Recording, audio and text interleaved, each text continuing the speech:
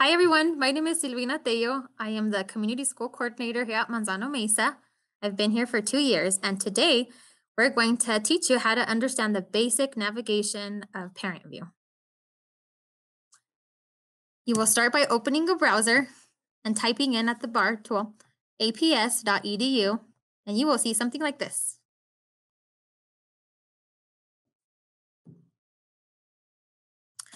You will scroll down here to your left side, and you will see students and families. Click on this. On your left side here, you should scroll down to ParentVue and StudentVue. You will click here.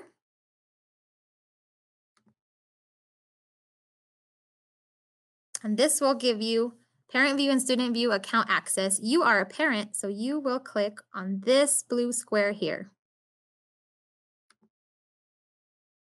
Now type in your username and your password.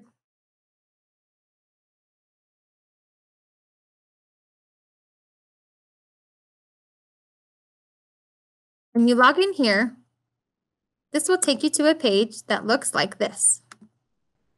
So this is what your homepage looks like in your ParentVue account. If you don't have a ParentVue account or forgot your password, we have made videos of that in other in the other series. Please see the link in the description below. This is what your homepage looks like from a computer. It might look different on your cell phone. Let's start off here on this left side.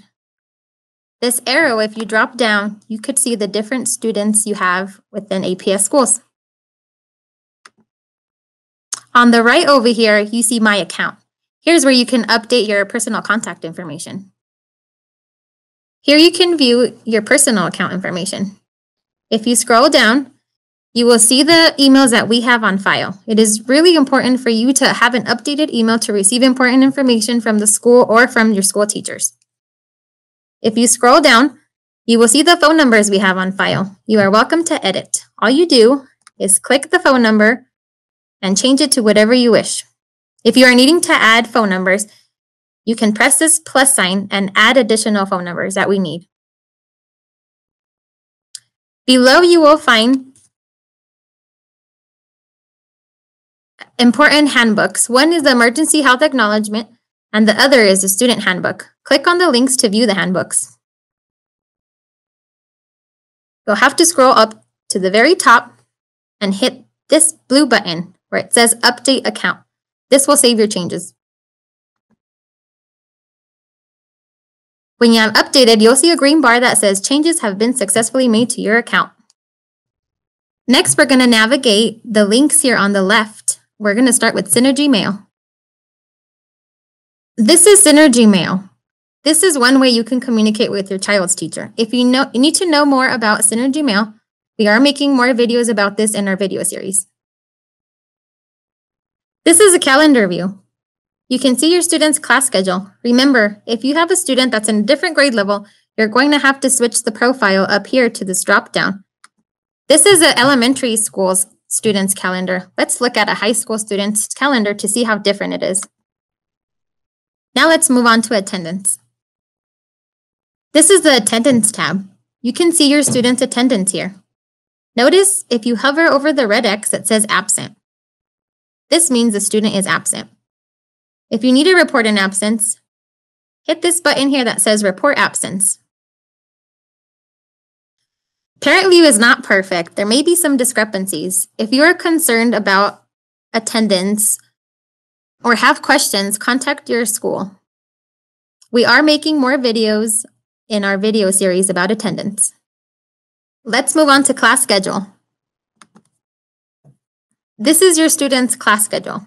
As you can see, you can switch over from semester one to semester two. Here is an easier way to email your students' teachers. Remember, if you're trying to access a certain student's teacher, remember you will have to switch between students. Let's move on to conference. This is information on your child's conference. There may not be information here. Contact your school if you have any questions here. Let's take a look at course history. Here's where you can view the courses that the student has taken to see if they're on the right track for graduation. If you have any questions about graduation, contact your school or the school counselor. Today we are going to skip over the fee tab because there's nothing there and jump to gradebook. Here you can see your students' current grades. You can view the grades and also see if there's any missing assignments when it was last updated. Now let's take a look at health. Health summary. This is where you can view a summary of immunizations from your child. If you have any questions about any updates on immunizations, contact your school nurse. Now we're going to jump to report card. Report card. This is another way you can view your students' grades.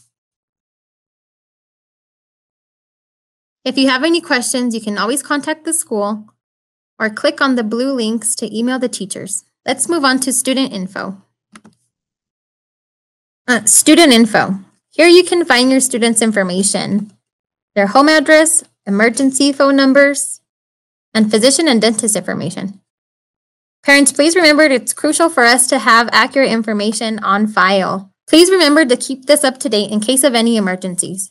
If there's any changes that need to be made to this, please contact the front office of your child's school. Now we're going to jump to documents. We're going to skip graduation requirements. If you have any questions, contact your school counselor.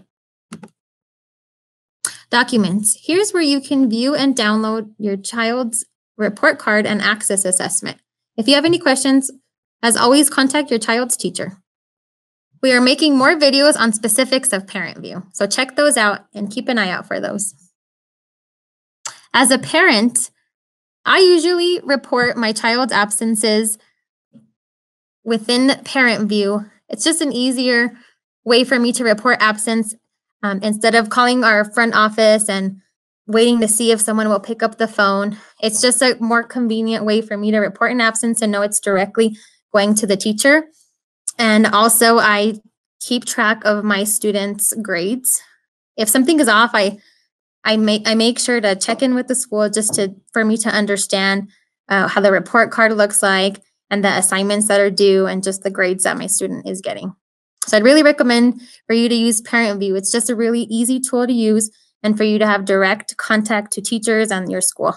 Makes you feel better connected and knowing where your child is at during the year. So thank you so much for watching this video. If you have any more questions, please see the link on the description of this video.